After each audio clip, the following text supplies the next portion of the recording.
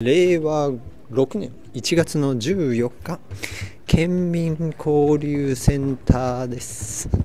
今日ここで長井鹿さんが講演をしているということで取材に伺いました。どこであるかな？催し物一覧。14日。どこだ？健康セミナーかな？あそうだそうだ。ライフコーディネーター協会。長井鹿さん。えっ、ー、と中堅。はい、ありがとうございます。いくよ。です。うん？はい、はい、子供連れできてます。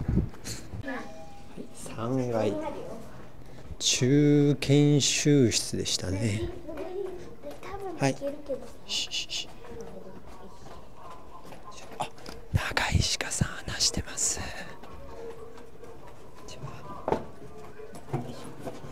行こうか。あこれちょっと見せてもらおう、はい、6歳までなら間に合う歯並びケア。もうだいぶ始まってますので行きます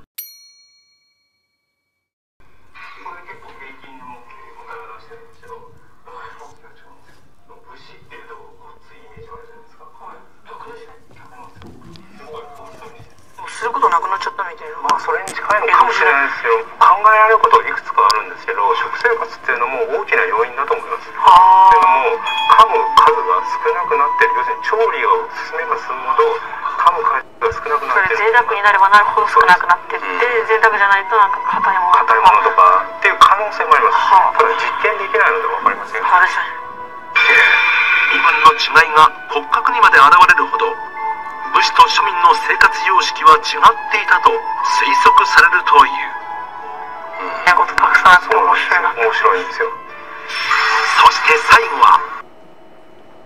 今テレビ見てもらったんですけども縄文時代と弥生時代これはね明らかに、えー違う骨格の違いは狩猟民族から農耕民族へ移ったんですけれども骨が伝わったんじゃなくて稲作文化を持った民族が日本に来て渡来して根血になったと。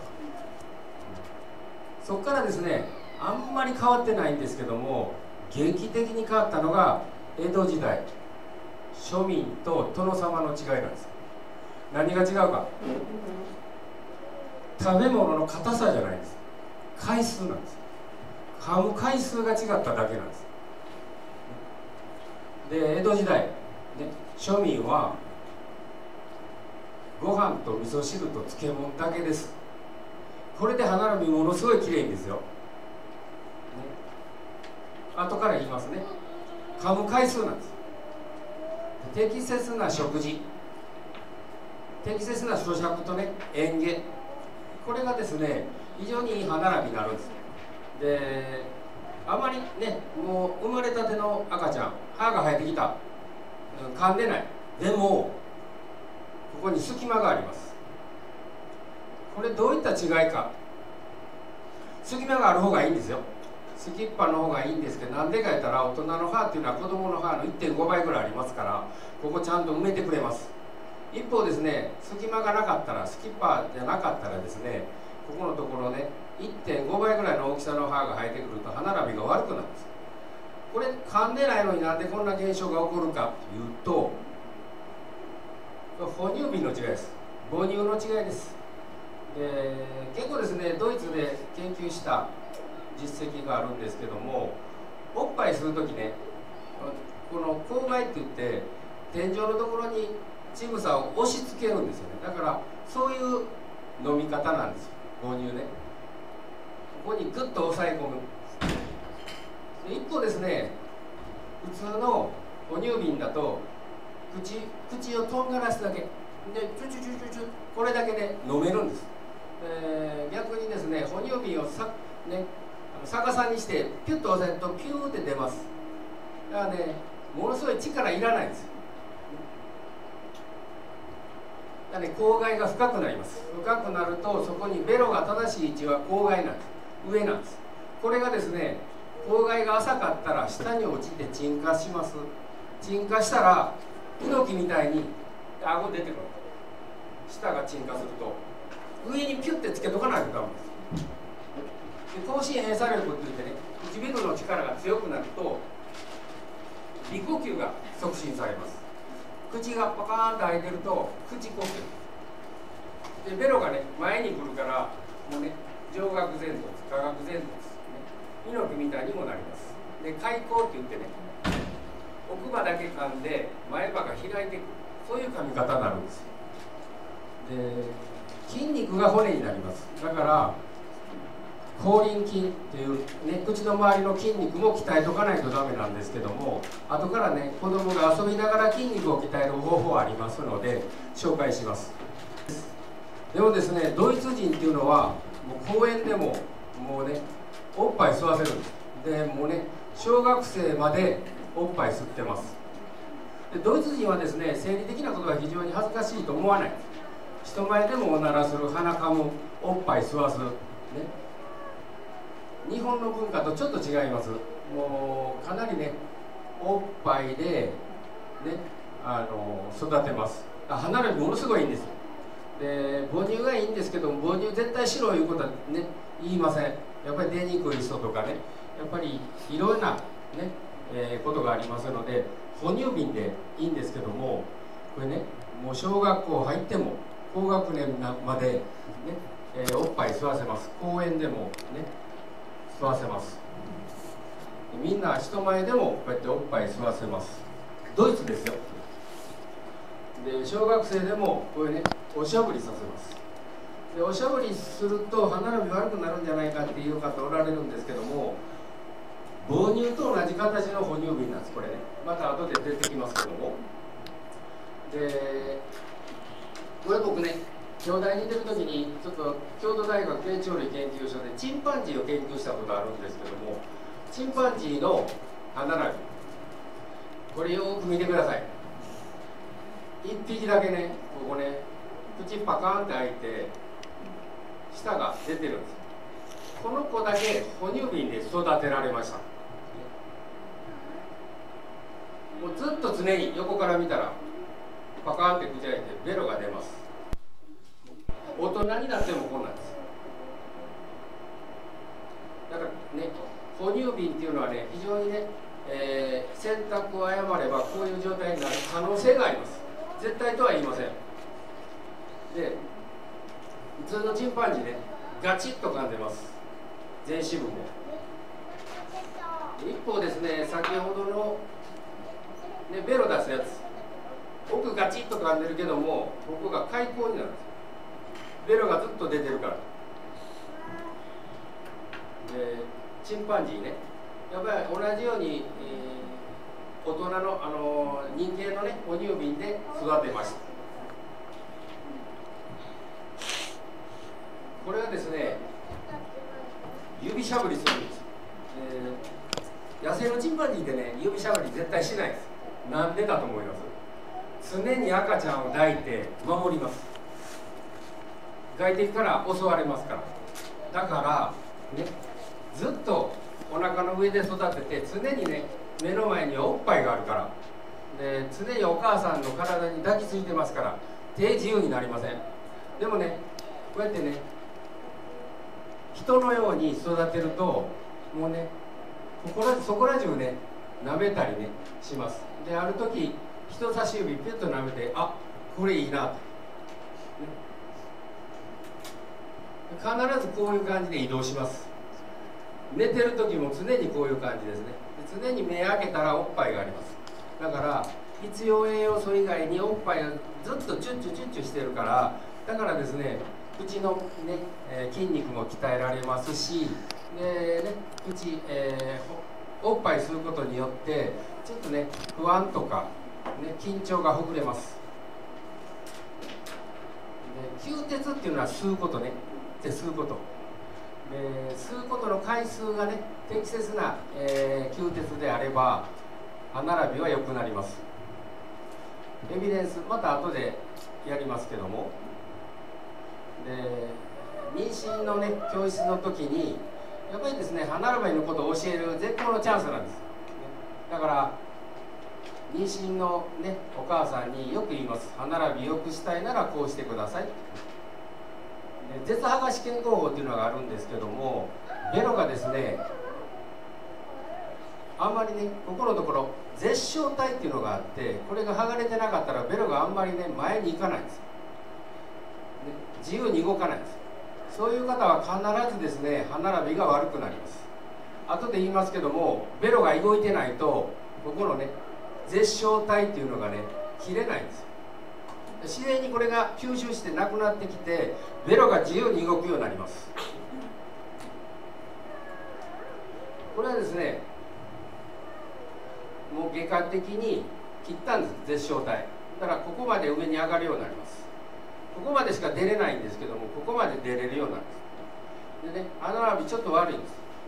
これねどういうことかって言ったらベロが自由に動くことによって自由にこうねベロが動くこと動くことによって歯並びが良くなるのは広げられるんです。広げられるんです。後で言いますね。これ大事な話なんです。で明治時代この絵ずっと見といてください。覚えておいてくださいね。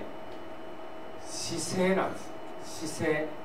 でねちゃんとした姿勢ででお茶碗を持って正しく食べる。後で言いますね。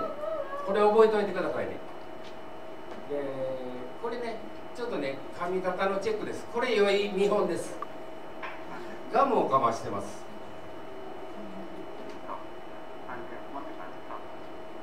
もう小さい頃からこの髪型してると歯並びは良くなります。どこに注目してほしいか。唇を閉じてます唇を閉じて周りの筋肉がものすごい動いてます。唇喋ったからね口がいたけどもここの周りの筋肉ものすごい動いてます。ベロも動きます。そうすることによってねベロが動くことによって開いてくるんです。何が開いてくるか。歯が開いてくるんです。顎骨がかなりね広がってくるんです。でこの子ねガム食べられない。でガム食べられないからもっと柔らかいちょっとね、えー、昆布を食べさせました。いたっていうんです。噛んでない食です。えずくんです。奥まで噛んでないんです。どこで噛んでるか。前歯のどっかでちょんちょんちょんって噛んでるだけです。でね僕がね痛くないから噛めるよって噛める噛める。噛んでよそう。でちょっとずつ噛めるようになります。結構噛んでるねこの子ね。噛んで噛んでよくちょっと噛んでずつ噛むます噛むね練習をさせます。痛くないことを言います。最初痛って言ったでしょ。それいいよは、ね、痛く感じるんです。噛んだことないから。この子もいい噛み合わせです。唇を一文字にして口開いてません。ここの筋肉ものすごい使ってますベロも動いてます。ここら辺まで動きますね。でこの子ね噛めないんです。舐めてるだけ。カミカミカミカミカミカミ噛めないカミカミカミカミするんだよこの子にねカミカミカミカミ硬いもの食べさせたらね飲み込みますカミカミ噛む練習を教えない手で持っていいよカミそう頭振りながらでもいいからね噛む練習。これをね30分やりました。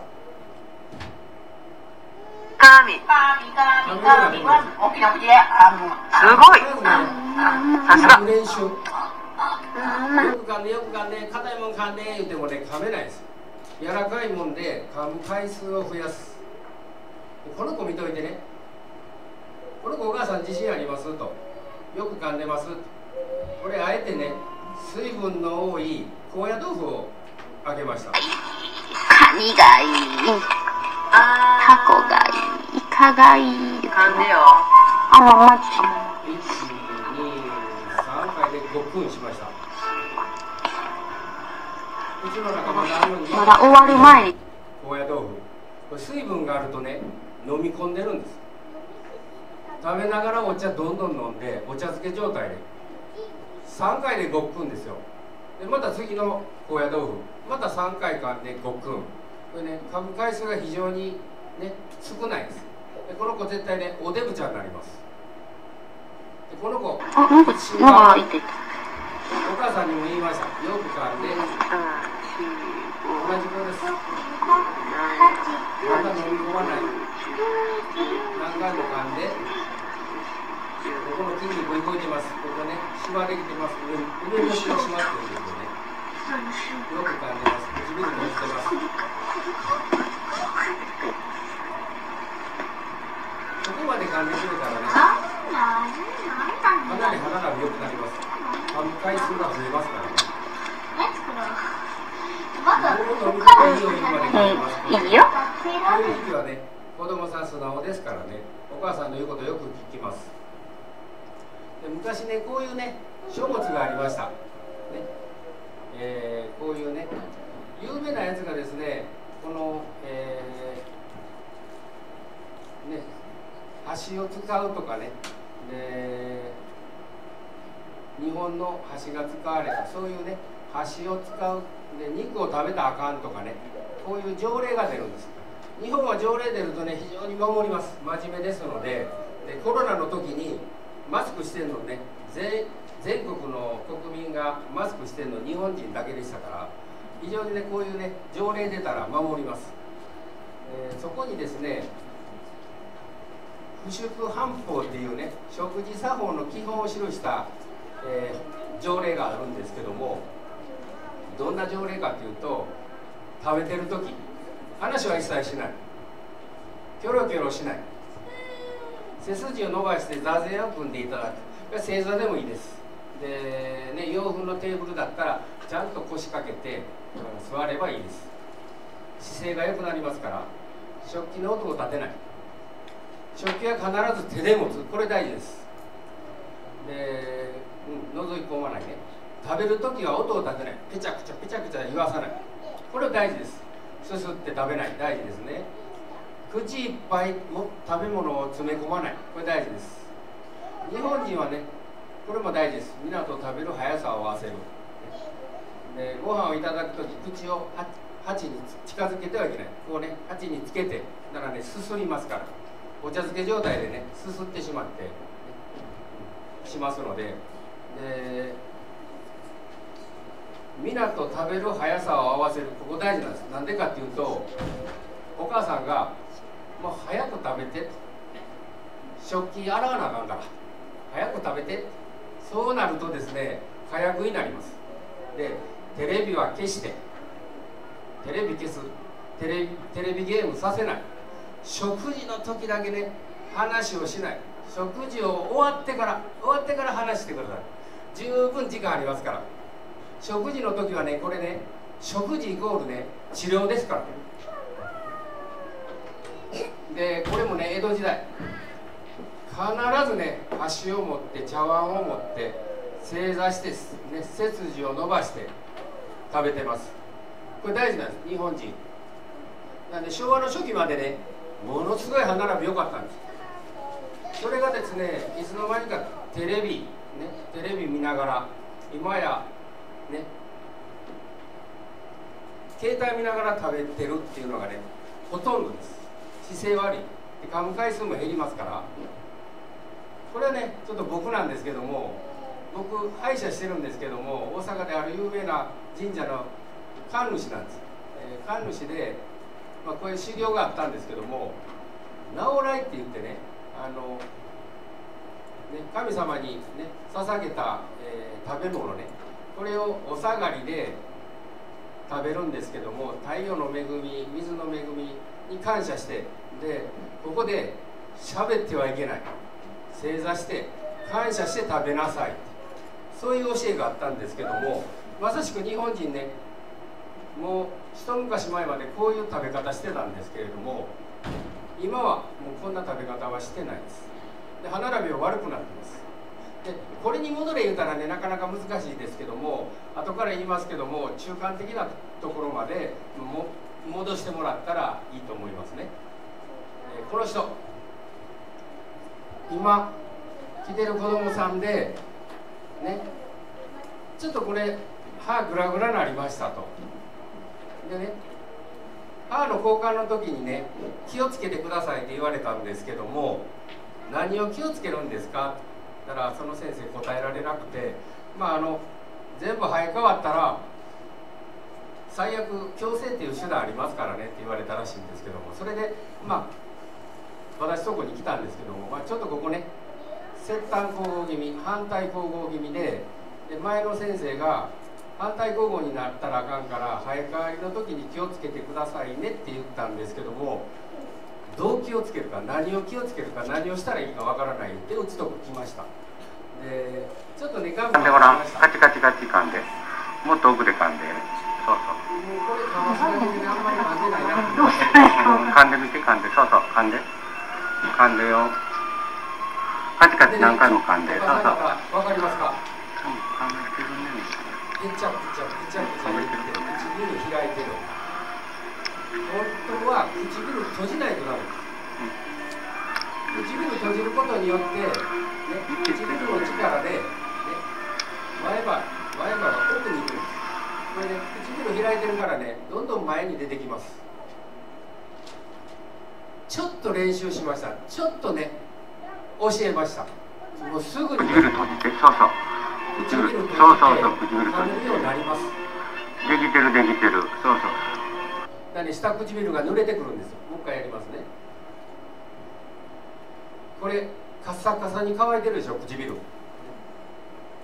口パカンって開いてねで噛んでるから乾燥するんです唇も乾いてますカサカサですそれを。ね唇閉じてそうそう。そうそうそう唇唾液閉がどんどん出ますから。じてできてるできてるどんどん出そうることによって虫歯予防にもなります。でこの子歯並び良くなってきました。反対交互気味で切端交互気味だったんですけれどもこのね永久歯ちょっとまだ歪んでますけどもちょっとここら辺反対交互気味ですけどもこの状態。唇閉じて唇閉じて黙ってゆっくり食べてお母さんに教えます。噛んでごらん。食べてごらん。何も言わずにあのねあ唇閉じてるなと唇閉じて、ね、噛む瞬間できてる。これで OK なんです。もうねこのまま唇を開いたままずっと噛んでるとすごい高額な矯正の代金払って矯正治療して歯抜かれて、ね、またこの、ね、唇開いたまま食べてるとまたね後戻りします。ベロが前に出るから。唇を閉じないとダメです。これね初心。これちょっとね永久歯が生えてきた段階。永久歯がねかなり生えてきた。唇閉じてって言ってね食べさす。こんな状態でちょっとね中入ってきましたね。この状態から見たら。で2年後。唇濡れてるしね。よく噛んでますしここが動いてます。ここの筋肉が動いてます。筋肉が動いてるということはベロがねぐわーっと動いてるからベロが広がってきます。ベロでね顎骨を広げてます。綺麗でしょ？反対交互気味だったんですよ。ちゃんと上の歯が下の歯を食いしてます、ね、この段階ではまだお母さんね心配だったんでもうここまで来たらねうんあの綺麗に並びます。でこれは最初からねちょっとね角度が歪んでましたのでここはねこのここの力はものすごい強いんですけどここあんまり強くないんでねこれは乳歯やから生え変わった時にね綺麗に並びます。ここまできれくなります。でね異常機能が異常機能形態を生むんです。異常機能です。唇を開いて食べてるとベロが出ます。口の中乾燥します。虫歯が多発します。悪いことばっかりです。異常機能です。これがですね正常機能。唇を閉じてで背筋伸ばして、ね、首筋も伸ばして正しく食べる。そうしたらですね正常機能が正常機能形態を生むっていうのはもうね自然の摂理なんです。正常な食べ方してたら正常な噛み合わせになるんですよ。でこの子見て見といてね。ちょっとしゅうママの方向いて。噛んで。ちょっとしゅうママの方向いて。噛んで。ぺちゃぺちゃぺちゃぺちゃ言ってるんですけども、うん、完全にね反対方向。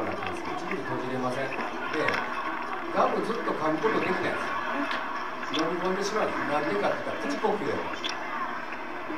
苦しいんですよ。食べてると口開けないと飲み込むでしょガム飲み込んだらダメなんですけども、えー乾燥してるから唇を噛みますねあー、ばあちゃん、チップちゃんがチップ先生。あー、ばあちゃん、チップちゃんがチップ先生。チップ先生。くちゃくちゃくちゃくちゃ食べてねで唇が開いてます飲まないでしょじゃあガム飲まないでしょじゃあガムででもこの子はねまた間に合います正常軌道にすると正常機能形態になりますからでね子は親の鏡言いましてねお母さんがねそういうね食事してると目の前で食べてる子供は同じような食べ方しますだからお母さん今日からね唇閉じて背筋伸ばしてテレビ消す、ね、携帯見ない食事の時だけね守ってください子供のためですでお母さんの食べ方とそっくりなんです、ね、でこれねスキャモンの発育曲線って言いましてね有名なあの図なんですけども皆さんご存知だと思うんですけどもこれ一のはねもう身長と思ってください。二十歳までにね100%としたらねちょっとね小学生ぐらいまででちょっとねあの中学生から高校生ぐらいからまた一気にグッと伸びます。で生殖型いうのはねよくわかると思う。生殖期ね。でずっと来てもう中学校ぐらいから急に発達します。でねここの神経っていうのはね神経型いうのもねちょっとねもう小学校上がるまでにここまでね成長します。で上学校か下学骨ね。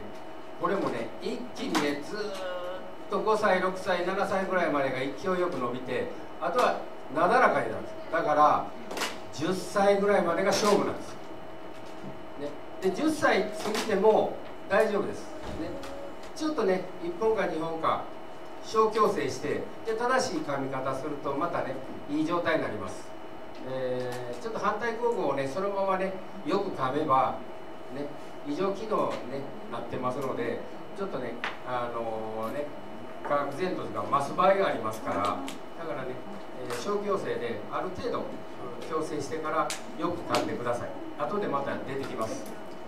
この子綺麗な歯並びしてるでしょ。これが本来の正しいね綺麗な歯並びです。乳歯で隙間がいっぱい空いてます。隙間がなかったらダメなんですよ。隙間あって心配してるお母さんねあこれ一番いい形なんですよ。もうね永久歯きれいに生えます。ね。この子。可愛い子ね笑顔してますけども隙間が全くないです。永久歯になったらね必ず歯並び悪くなります。今歯並びいいけども歯並び必ず悪くなります。でこの子食べさせました。どんな噛み方か。もうお母さん方分かりますよね。唇閉じてません。でね僕はアイヒルみたいなねこういう感じもう口呼吸の典型的な形です。で下唇ねちょっとね締まりが悪いです。でこの子ね唇閉じてって言ったらやっぱり息もしにくいんですよ。口呼吸してるから。あちょっとねもぐもぐかねそうそうそうそうそう唇閉じて閉じる閉じる。そうそうそう。唇閉じて噛んでカチカチカチちょっとね慣れてきたらいけます。そうそうそうそう。唇閉じて。口閉じてもぐそうそうもぐもぐもぐ。そうそうそうそうそうそう。そうそうそうそう。そう唇閉じてって言ったらね口呼吸してる子は必ず口角下がるんです。でもずーっとね唇閉じてるとこれがね口角上がってきますから口閉じてカチカチカチ。もぐもぐもぐもぐそうそうそうそうそうそう。途中で息継ぎしてもいいからね。そうそうそうそう。もぐもぐもぐちょっとずつやるとね必ずで。きるようになります閉じてもぐもぐそうそう。そうそうできてるで。してもねもう1回か2回しかで。きなかったも毎日やってると1年後にはね10回20回で。きるようになりますからちょっとずつこの子どうでしょうかね噛んで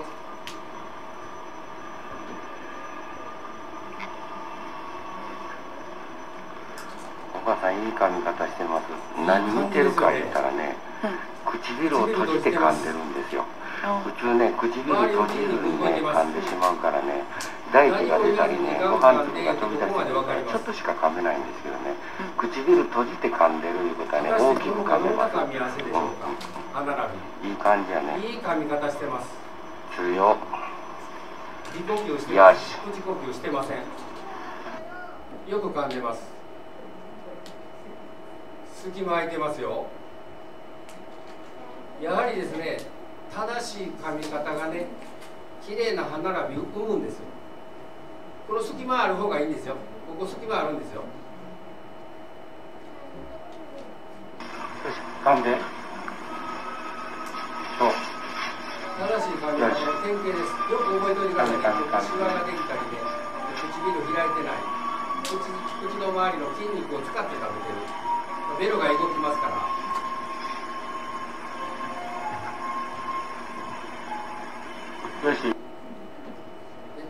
やはりですね隙間がいっぱい空いてます。この隙間いいんですよ。ここのねあの剣士とか側接歯が生えてくるとこっちに寄ってきますから。エビデンスあります。これね縄文時代と現代人ね。これねここの骨格のね一番下のところ非底部変わらないです。ここの一番最大放流部のね最大幅も変わらない。何が変わるかって言ったら歯列幅なんです。縄文時代よく見てねまっすぐ立ってる。まっすぐ立ってる。現代人は斜めになってる縄文時代まっすぐ立ってる。これはベロの力でね広がってくるんです。立ってくるんです。あんまり噛んでないから寝たままなんです。ベロが動かないから。ここが狭い、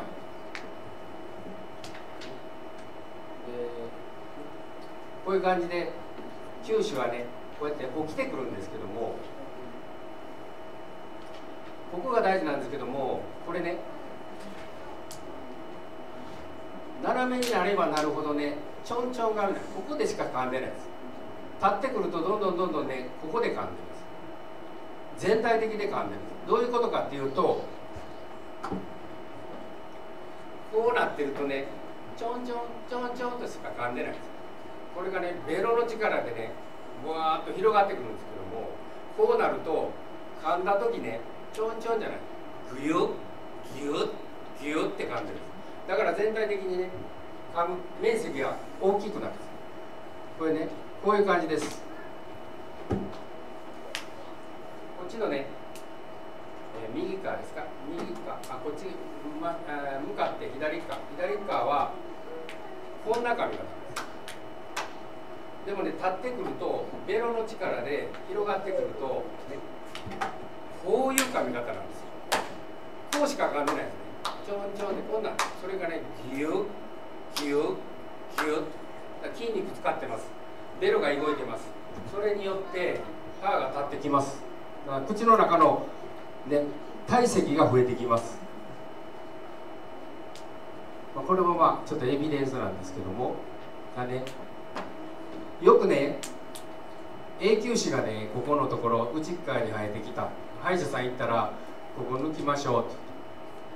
ここちょっと隙間いるんで抜きましょう。ってだこれが綺麗に生えますけどもここにもう一本あるんです。側接歯が。側接歯生えるとこないから側接歯がねどもう変なとこから生えてきます。だからこの段階では抜いたらダメなんです。何をするかガムトレーニングしたりね正しい食事を身につけないと。で咀嚼のね回数を増やして、ね、口の中を広げてあげないと。よっしゃ噛んで、うん、噛んで噛んでからもうお母さん方わかるでしょ？お母さん今これがも噛んでるんですけどね。唇開いて、ね、口呼吸してます。典型的にね歯並びがねあんまり良くない噛み方なんですよ、何がまずいか分かります？ぐちゃぐちゃぐちゃぐちゃ言ってるしね唇がね開いてますでこれをねちょこっと練習するだけですよそ噛んでのままからそうそうそうそう噛めるようになりますいい感じ方そしたらねお母さんね唇濡れてくるんです筋肉動いてきましたこうやって唇濡れる。今ねく来た時。ものすごいね筋肉が発達します。筋肉が骨を作りますからでベロの動きが広げますからいい状態なんですね。でこの子もね隙間が空いてきます。でねこのね感触の回数と虫歯の数って言ってね感触が多ければ多いほど虫歯になるっていうねデータなんですけどもこういうデータがあります。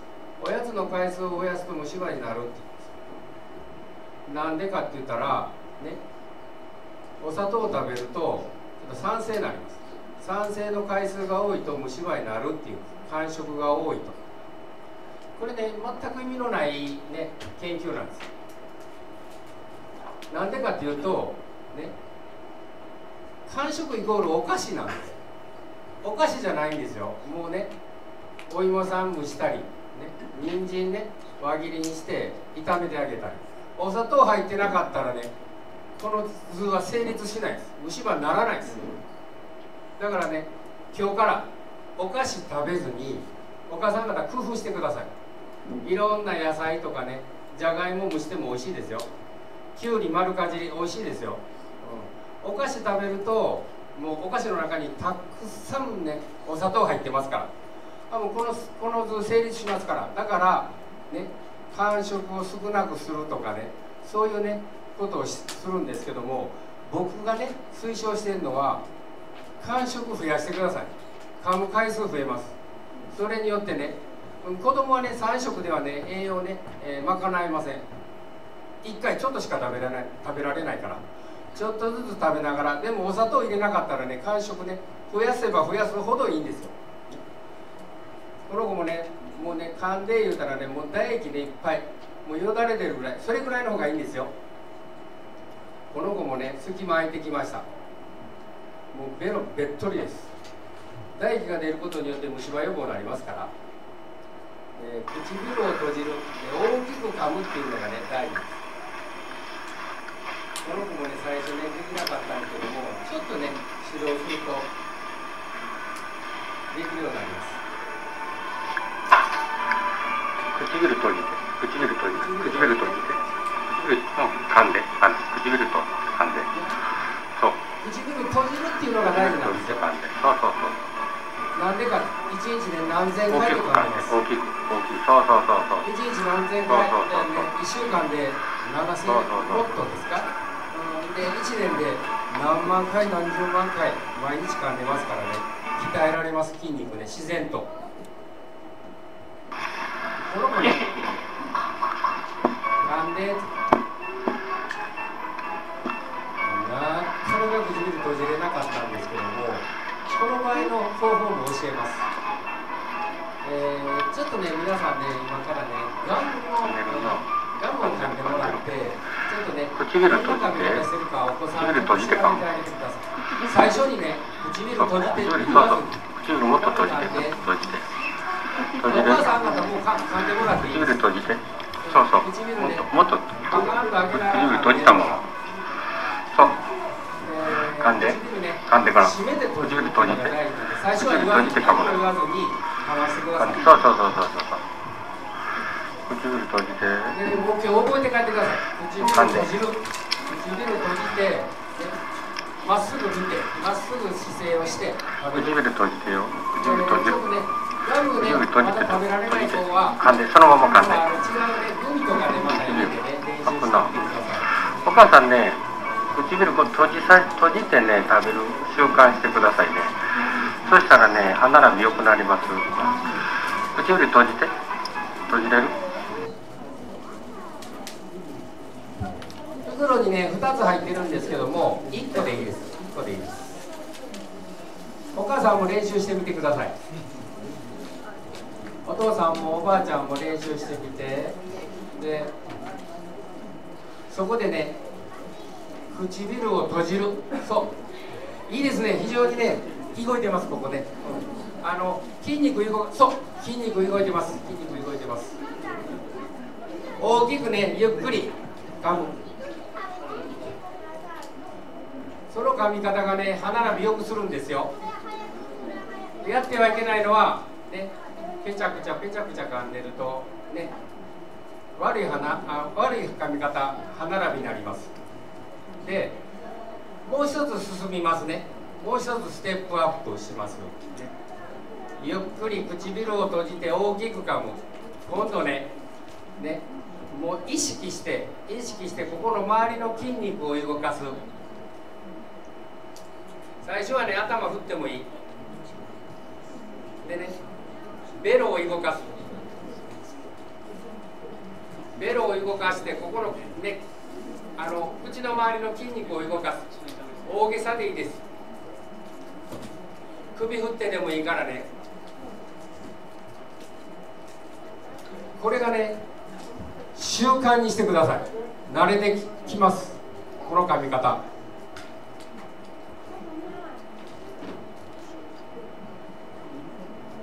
それでガムがね苦手な人はね、えー、グミとかねちょっとねちっちゃく切ったスルメでもいいです。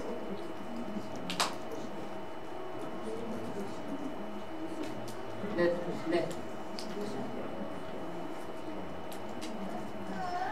このかあのね髪型ねちょっとね、えー、ちょっと学んでもらっただけでも今日来た回ありますよ。口の周りの筋肉動かす。ベロを大きく動かす、ね、ゆっくり噛む、ね、あのちょっとティッシュ配あの配ってあげてちょっと吐き出してもらってまた次の講義します。ティッシュありますか？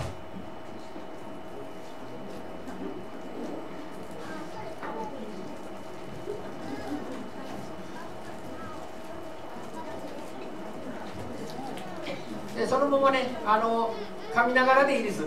噛みながら噛む回数稼げますから。ガム噛みながらでいいですからね。はい次いきます。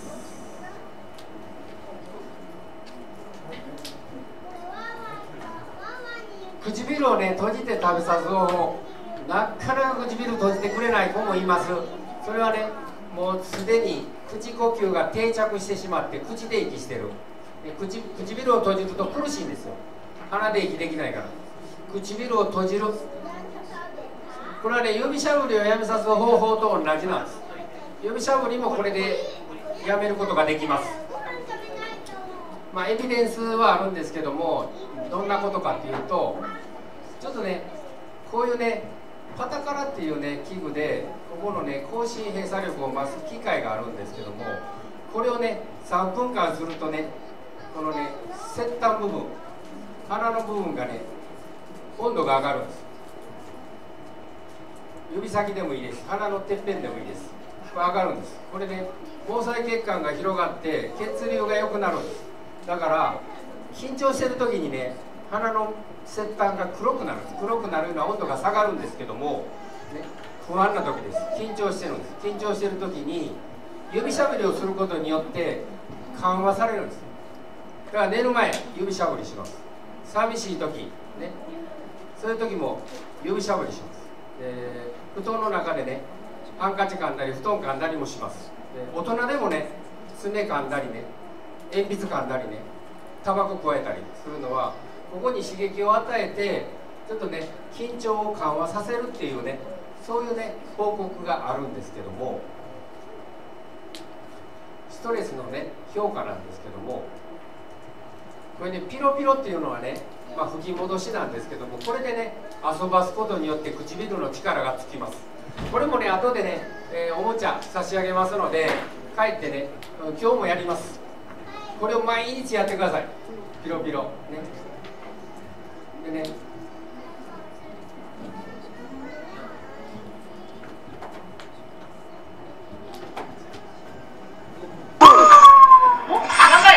頑張れ頑張れ頑張れ。最初できないです。頑張れ頑張れ頑張れ。頑張れ口呼吸してる人はねできないです。はい見て。あ、ちょっと出た、ちょっと出た。で指しゃぶりしてる子ねこれやらせてください。一発でやめれます。唇に刺激与えますしね。でここにね圧かけることによって指しゃぶりしてるのと一緒やから。指しゃぶりはね歯並び悪くなりますよ。これ何もやっても歯並び悪くなりません。この子頑張りました。ロングピロピロできるようになりました。大人でも難しいロングピロピロできます。毎日やってるとできるようになるんですよ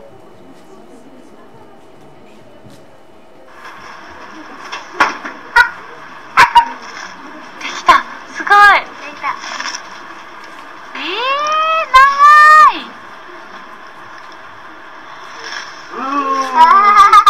上手やね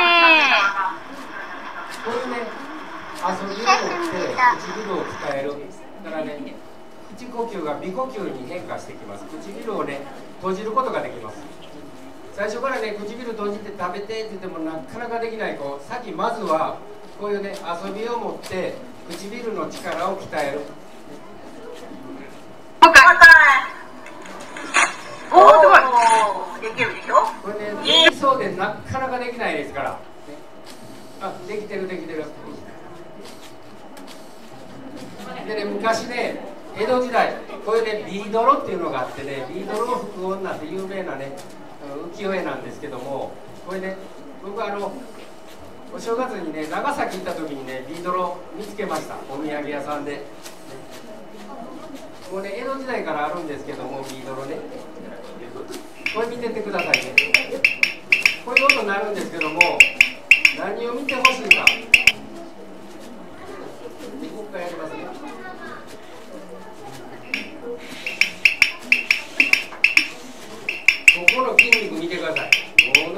ってます。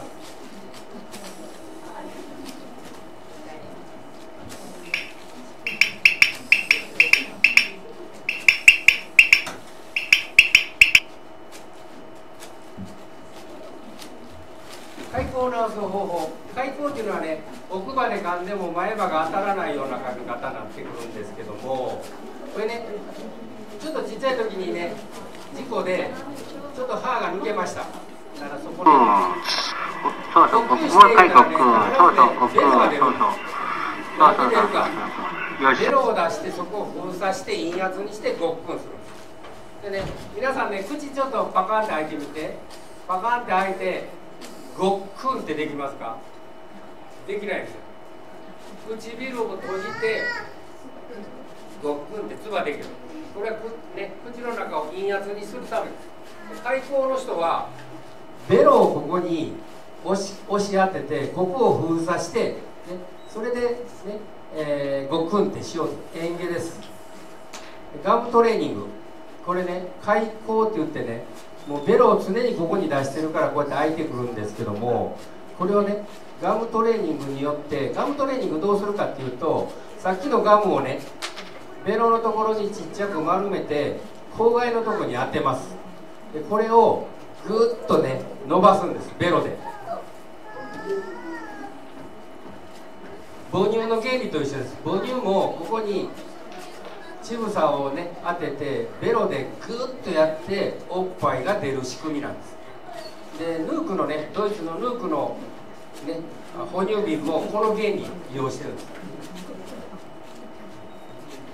ここに当てて口外のところに当ててベロでグッと押さえつける練習です。それをね毎日やってください。そうするとねベロがねずっと前に出てるから開口が広がってくるんですけどもその練習してるとどんどんどんどん閉じてきます。でちょっとね演芸リハビリ訓練期っていうのをねちょっとね特許取ったことがあるんですけどもこれもヌークのおしゃぶりの先端部分を利用してそれでね演芸訓練機を作りました。こんな感じです。これでヌークのおしゃぶりと同じ形なんです。その時ヌークはねもうね、えー特許ね消えてたんでこの特許を消えてたんでこのまま使いました。でこれにね絵をつけただけなんです。でリハビリ訓練機。これもね園芸を正しい園芸をするとこうなるんです。いやこれね矯正ってたら何年もかかって何十万円もかかってで歯抜かれるんですからね。このね正しい咀嚼と正しい園芸するだけでここまで回復します。何もお金いらないですよ。これはもう若い時にしかできません。で隙間が空いてますね。いいですね。隙間が空いてきました。隙間が空いてます。隙間が空いてきました。隙間が空いてきましたね。でこれをね、えー、皆さんね毎日こうやって遊びにね遊びながら唇を鍛えてください。でね今ねこうやってね風船膨らませる子供いなくなったんです。これもうガムがねあんまりね流行ってなくて僕らの時こうやってねやりました。もう自然にね唇を使った遊びですのでね唇がね鍛えられました。いいですね。非常に隙間が空いてます。でねこれねサザエさん。これ一昔前です。で僕らがね一生懸命ねこうセミナーやったりねいろいろやってるとねこうなりました。何が違うでしょうか。これ今のね絵です。これ一昔前です。これ何が違うか。お水なんです。お水はねガバガバ飲まない。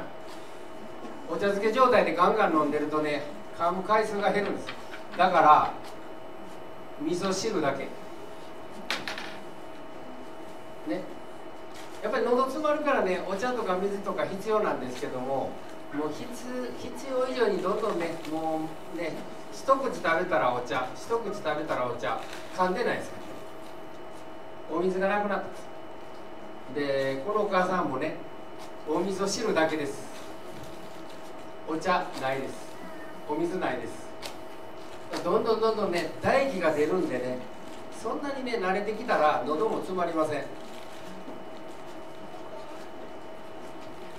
きゅうり丸かじりしてます。非常にね隙間が空いてきます。そういう生活してると。食事の時はねもうね歯科治療ですからね。家でできるね治療ですから。いいですね。すごい歯並びいいです。入試の段階でこの隙間がいっぱいあればあるほどいいんですよ。隙間がいい。それでね正しい箸の箸の持ち方っていうのがね非常に大事です。でねなんで大事か。もうね正しい鉢の持ち方だったらちょこっとだけすくってねもう豆でもピュッてねつかめます。で少量ずつ口の中入れることができます。それで噛む回数が増えます。箸の持ち方が悪い子がねやっぱりね流し込んだりね姿勢が悪かったりあるいはね噛む回数が少なかったりこれはもうね正比例します。で、ね鉛筆の持ち方で食べてるのもあります。だからねここのところが隙間からね豆とかが取れないんです。クロス箸こういう髪型もねあのもう箸本来の正しい箸の使い方じゃないんです。握り箸こんな持ち方の人いてるんか。いてるんですよ。ちょっとね有名な芸能人。ですけどもワマンっていう人食べ方こんな食べ方する。実際ほんまですよ。衝撃的な箸の持ち方びっくりしてでしょ。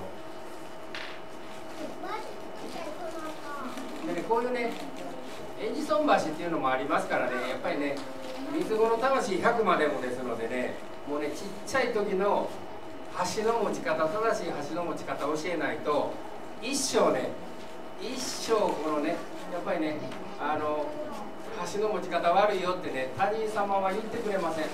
だからねあの結構ねお母さん方ね子供さんに正しい箸の持ち方させてください、ね、エンソン橋っていうのもありますからね。でこういうねあの僕とこの保育園ではね足の持ち方の練習します。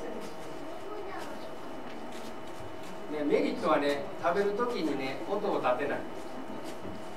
すすって食べない。もう箸でね食べ物をす、ね、取れないからねこうやってすくうんですよこうやってね。口いっぱいに物をね詰め込まないということもできます。もうねお茶漬け状態でガーッと入れるんですよね。ご飯を置いたと口にね口を足に近づけてはいけないっていうのねありましたね。これもね同じです。正しい箸の持ち方ができていないとこういうのが起こります。ね、ちっちゃいちっちゃいね豆とかでもねつかめます。だからね少量ずつ食べることができます。姿勢も良くなります、ね、ブロッコリーでもね簡単に。この絵見てくださいね。背筋ピン。お茶碗持ってる。もうちっちゃい時からねこのね癖つけつけといたらねもう一生もんですから。これね僕のおじいちゃんなんですね。もう明治時代の校長先生学校の小学校の校長先生。僕よく遊びに行ったら優しいんですけど食事の時だけは怖かったです。喋ったらあかん。正座。こぼしてる。ものね。残したらあかん。明治時代の校長先生やからねもうねめちゃくちゃ怖かったです。食事の時だけで。食事はもうね非常にねお母さん方ね子供のためと思って厳しくしてください。食事の時だけは。おじいちゃん。でね江戸時代もねちゃんとね浮世絵にね出てるんですけどもちゃんとお茶碗持ってちゃんと箸持ってね正座して食べてます。ね。江戸時代です。れでやっぱりねお家事情があってねこういうねちゃぶ台をね使ってで正座して食べるんですけどもその後ねこのちゃぶ台を、まあ、片付けてここでねあの布団引いて寝るっていうねお家事情もあります。家が狭かったからね。これはね大阪暮らしの膠着館っていうのがあって博物館なんですけどもやっぱり覗いてみるとね江戸時代こういうねこういう様式でした。座布団座って。でこれはもう江戸時代からこういうの続いてますから。もう昭和の初期まで歯並び良かったんですよ。で洋風のテーブルになってもねやっぱりねちゃんとね、テレビ見ずに、ね、背筋伸ばして食べる。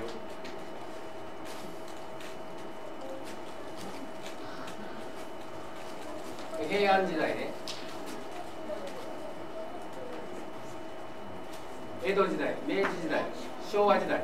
昭和時代になったらね全然違いますね。なんでか言うたらテレビ見ながらこのお母さんも90度ね顔傾けてます。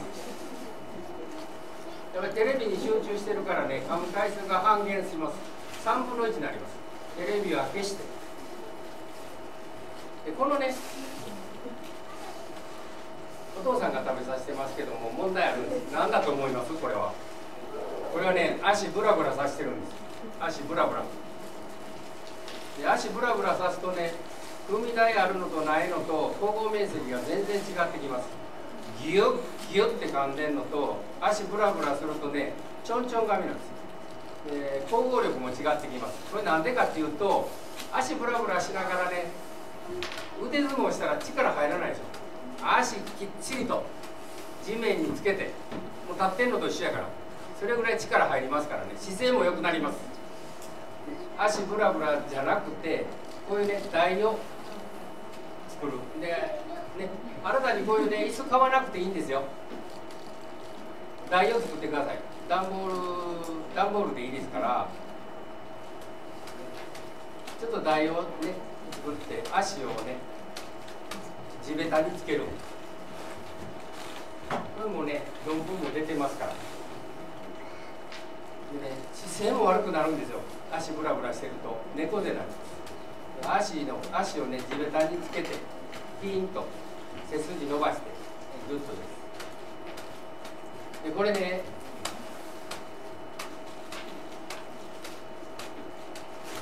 猫背なってる茶碗持たないから。カレーライス。これもね胃抜くになるんですよ。歯並び悪くなってくるね。過渡期なんですで保育園でねこうやってねあの必ずね足はきっちりつけて、ね、足はきっちりつけて背筋伸ばして、ね、ここねつけない。で背もたれもつけない。お腹もつけない。そういう指導してます。これ大事なんですよ。洋風のテーブルでいいんですけども正座しなくても座禅組まなくてもいいんですけども肘をつかない、ね、背筋を伸ばしてここね一拳ぐらい開ける、ね、ここも背もたれにね背中をつけない。足足裏をねしっかりとつける。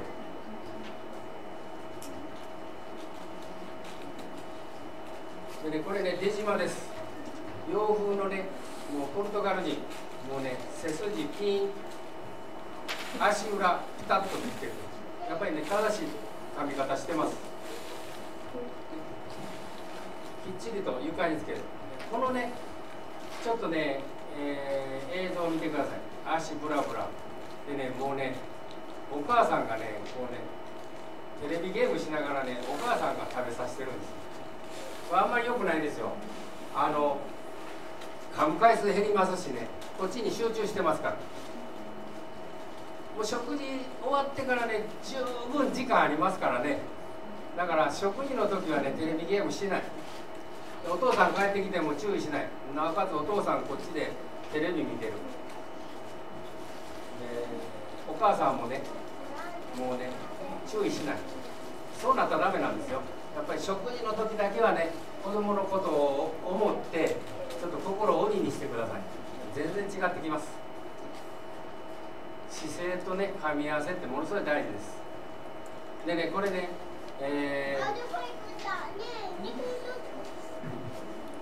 弥生時代ですけどねもう正座してるしねこれはね足を見せるために足伸ばしてるんですけども足指がねものすごい広がってるんですよ。ここくっついてないんですよ、これはねこの弥生人弥生人のね子供のね足型から分かったんですけども、足指がねしっかりしてる。足指の力がしっかりしてる。足指が開いてる。それはね歯並び一色なんです。だこういうねあの足のねあのそういうね指をね1本ずつ分かれたこういうあの、ね、ソックスですか？そういうのもあります、えー、昔はねぱり下駄。下駄でした。だからね足指も鍛えられたりね。足指が鍛えられると何がいいか姿勢が良くなります。姿勢が良くなると何がいいか噛む回数も増えたりね。噛むね力も増えます。歯並び良くなります、ね、こういう感じでね草履とかね下駄。えー、ここのね保育園ね指導行ったんですけどもこれ何したと思います僕？これね同じね保育園の運動場です。もうね人工芝引かせです滑り台同じです。同じとこです。で裸足でねこうやってねバランスのねそういうねあの競技をさせました。だからねやっぱり保育園の売りになりますね。裸足で育てる歯並び良くするっていうね。同じです。同じ保育園ですね。人工芝を引いて裸足で遊ばす。大事です。これ同じ遊戯ですね。同じ場所で。で保育園の中でもねこういうのを作ってね裸足で遊ばしてます。足指を鍛えてます。足指が鍛えられると姿勢が良くなる。姿勢が良くなると噛み噛み合わせも良くなりますからね。足ブラブラさせたらダメですよ。しっかりつけるしっかりつける、えスマホねほんとダメなんですよ、ね、あの今ねどっか食べに行ってみてください。ほとんどの人がねスマホ見ながら。これねもう姿勢も悪くなるし噛む回数も減りますから。一昔前はねテレビ見ながらね食べてたんです。今スマホです。これ面白いね、えー、映像を撮れました。どんな映像か。ちょっと面白いです。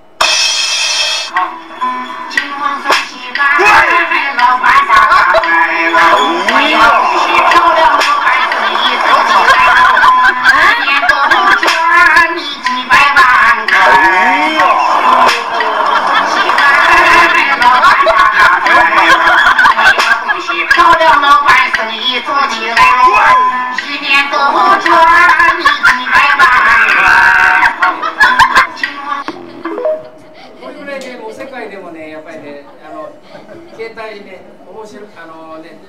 見ながら食べたらダメっていうの分かってきてます。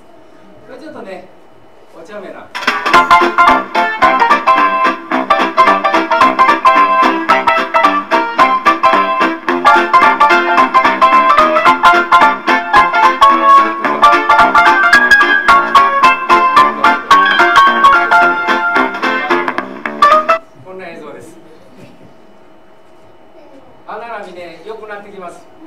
諦めずにねやっぱり小学校ね高学年になっても諦めずによく噛む、ね、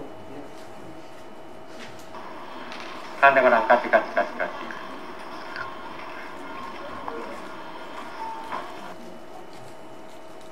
あごめんなさい。この子ねちょっとねちょっと中に入ってるちょっと歪んでるって言ってきたんですけども噛む練習しました噛んだからカチカチカチカチ口開けて噛む噛んだからね口閉じて。この噛み方を教えて家でもこの噛み方でずっと噛むのよ。それでね子供さんに教えてもいい噛み方してる。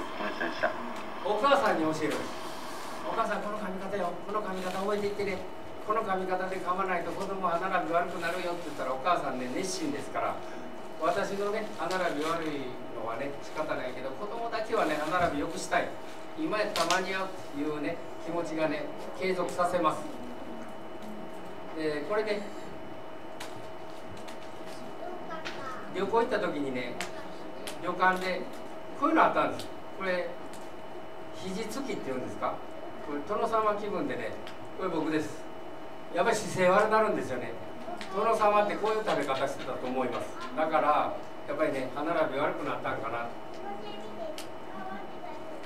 いいですね。隙間がいっぱいできました。理想的です。いいですね。隙間が空いてますよ。隙間開けないとダメなんですよ。よく噛むよく噛むよく噛んでよく噛んでって言ってもね一番大事な姿勢を正して。でリップシール。リップシールいうのはここ唇を閉じる。唇を閉じる、ね。ね、下半身を固定して。これはね正座でもいいです。座禅でもいいです。洋風の机でもいいです。足裏をしっかりつけて。地に足をつけて。黙って。これ大事ですよ。喋らない。これ食事終わってからね十分ねそういう会話の時間設けてください。テレビ見てください。食事の時だけねテレビ消して黙って。でね時間をかけて大きくゆっくり左右均等に右ばっかりで噛んだらダメですよ。右5回噛んだら左5回均等にね。でやってはならないのはね早く食べて。もうダメ。食器洗わなあかんから早く食べてっていうのはダメね。少量ずつ。口いっぱいにしてねリスみたいに。口いっぱいにして食べるとね群飲みしますしね。でお茶を飲まず水を飲まずよく噛む。よく噛むよく噛む言うてもこんだけの項目あるんですよ。でよく噛む。だね全然違ってきます。こんな綺麗な歯並びもうね永久歯もものすごい綺麗くなります。以上です。ご清聴ありがとうございました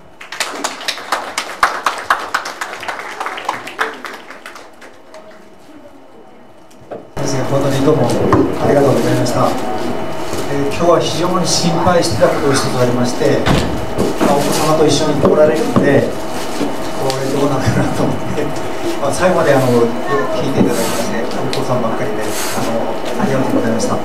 一応あのちょっと時間がまだあるんですけど一応まあ10分ほどあのおトイレとかあのここから一応フリーであのどうぞお帰りになりたいから大丈夫で、でえーまあ、20分ほど、まあ、質問とかあればあの思っておりますので。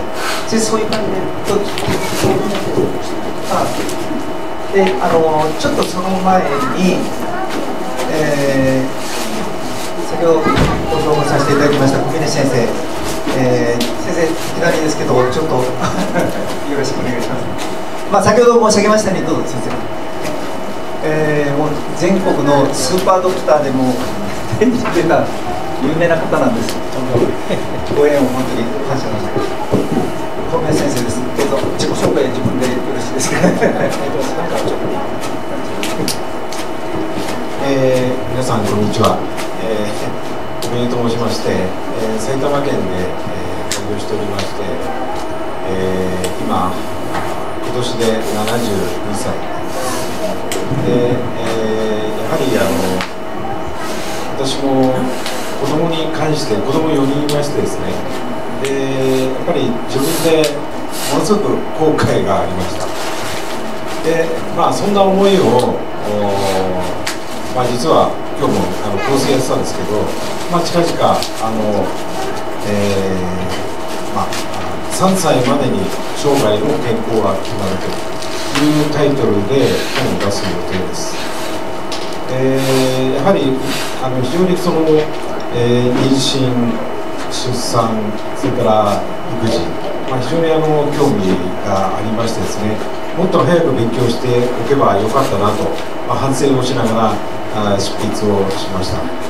でやはりいろいろ調べてみると日本ってすごいあのまあ流産とか、まあ、奇形児が多いということを知りました。ところが現実にはものすごく隠されてますよね。で私も海外ボランティアで、まあ、いろんなあの途上国に行きまして、まあ、奇形児とか、まあ、そういうものを実際に見てきました、まあ、日本ではほとんどいないっていうかね表に出してないですね。えこんな危険児があるんだっていうのも、まあ、現実に見てきました。で実際に日本に帰ってくると私の自宅の裏に幼児公園があるんですね。でそこ夏になると除草剤で埋まっちゃうんです。こんなことがあっていいのかと本当に思ってます。で、えー、実際にこの九州のですねえー、博多の東、えー、西日本新聞社であのコンビニのお弁当の余ったやつを養豚場というか豚に食べさせたら100%流産危険っていうのが載りまして、まあ、その本も手に入れまして本当に日本って危ない国だなと思いました。それから、えー、やはりその妊娠中にですね、えー、やはりあのまあ胎盤を通して羊水の中にお母さんの、まあ、妊娠後期ですね食べたものが羊水の中に出てくるですからやはり妊娠8ヶ月ぐらいになったらやはりその赤ちゃんのことを考えて食べ物を選択してほしいと、まあ、こういった内容をですね私、えー、歯医者ですのでそういう本を書こうと思ってもなかなか出版社が認めてくれないんですよ。それで、えー、一応、えー、産科の先生に、まあ、私の講演に来ていただいた産科の先生に、まあ、一応監修という形で見てもらったんですけど全くそういう知識ないですよね。そんなことあるの？どこにそういう根拠があるの？まあ、そういうものがいっぱい書いてて私はそのアメリカで勉強しましてあ違うんだなというのは思いました。それから、えー私が今あデータを取ってるというか研究してるのはですね、えー、皆さんお子さんたちがですね K2 シロップって飲まされてますよね。あれを今すごい飲ましてるんですよ。あれってあれ飲むとものすごい虫歯の発生率が高いです。虫歯多いなと思ってね母子手帳を見ると K2 シロップいっぱい飲ましてるんですよ。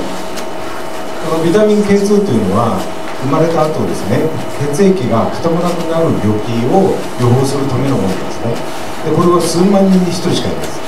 でしかも海外ではどうやってるかというと生まれたての赤ちゃんの歯茎に注射剤でちょっとこう傷つけですね。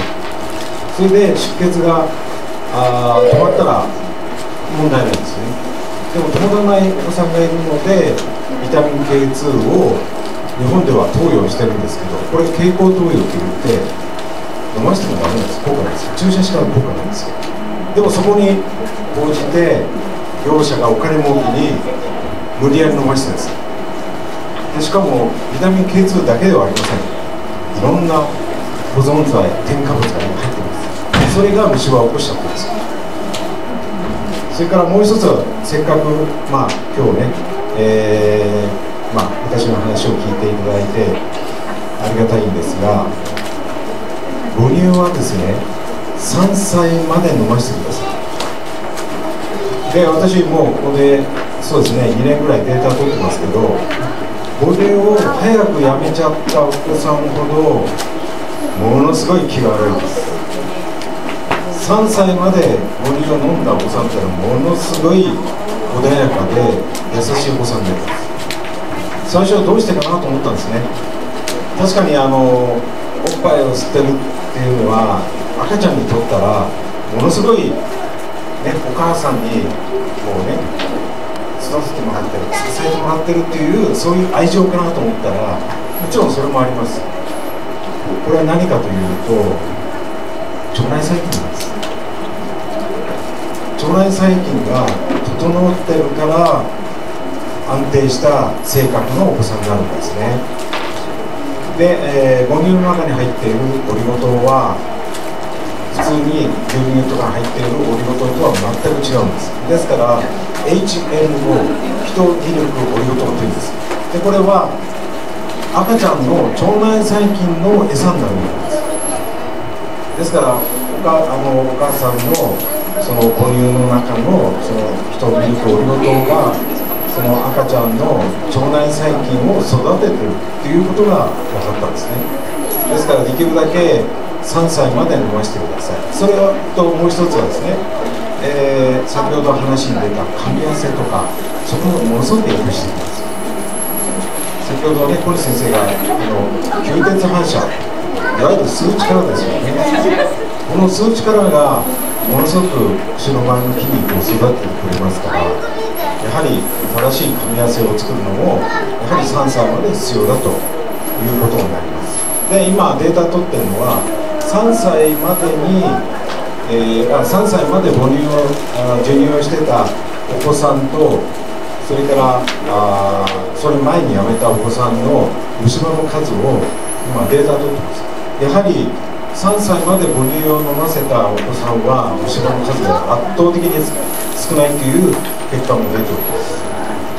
まあそういった意味で、えー、今後ですね、えー、ぜひ、えー、母乳はしっかり飲ませてあげてください。もちろんその出ないとかねそういう今まで相談もありました。で一応ですね出なくなってもまた出すこともできるそうです。まあ、私は男性なんでねその細かいことはわからないんですがあそれからもう一つですねこれが一番大事なことですね。赤ちゃんがねこう3歳までの間にずっとね3年間絶好調っていうわけにいかないんですよね。そうすると赤ちゃんが体調悪くなると唾液母乳と唾液が混ざってですねその唾液が酸性化してくるんです。そうすると母乳と唾液が混ざったものがですねお母さんの乳首で感知する。そうすると免疫細胞が母乳の中に出てくるんです。でこれは日本の産婦人科の先生は誰一人知らなかったです。ですからいかに母乳が大事かということをですね。お伝えしたいなと思って一生懸命あの本を書いて今最中です、まあ、ぜひですね、えー、そういうことも勉強していただけたら嬉しいなと思います。どうもありがとうございました。先生その本はアマゾンとかなんかであ多分ね多分ね。あもうどうぞ皆さんあのネットでも検索されたらもうたくさん出てきますのでどうぞよろしくお願いします。今日はあのちょうど1時間えー、1時間半になりましたけど、えー、そうですね、主催なんですけど、この後どうします？一応ですね、あの先ほど申し上げました、えー、非常に、あ、以前どうもありがとうございました。鹿児島に小峰先生を今度またお呼びしたいと思います。この席で足らないと思います。よろしくお願いします。まず話を鹿児島では簡単に聞けますので、ね、そこだけ私は言えないですまあそんなことどうでもいいんですけど最後に一つだけあのすみません一つだけもうお願いいたしますアンケートをあの手元元にあると思いますけどボールペンない方とかあのいらっしゃいましたら手を挙げて挙手お願いします、えーちょっとだけお時間いただければと思いますでその資料をちゃんと書いていただいた方に今後また素晴らしい情報とかもこれになっておりますので